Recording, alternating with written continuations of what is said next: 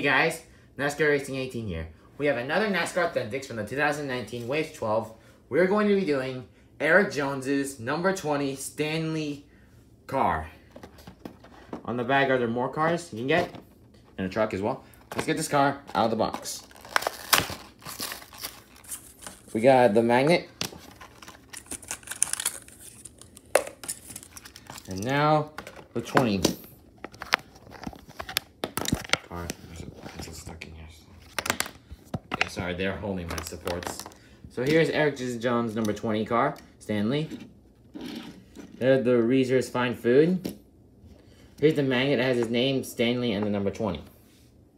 So Erik Jones' sponsor is DeWalt and Irwin Tools for 2020, and they've been always been. And then Stanley came along and joined Erik Jones. So Daniel Suarez, this is his car for 2018 and 19. He recently joined Joe Gibbs in 2017 and 2018, but left. And when he left for Stewart-Haas Racing, Erik Jones is, took over the Stanley car.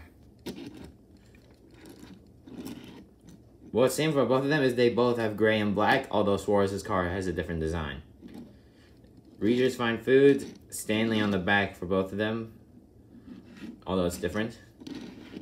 But mostly this car is black with some patches of gray. And that's about it. Oh, the magnet. Well, guys, thanks for watching this episode, and more will be out soon. Thanks for watching.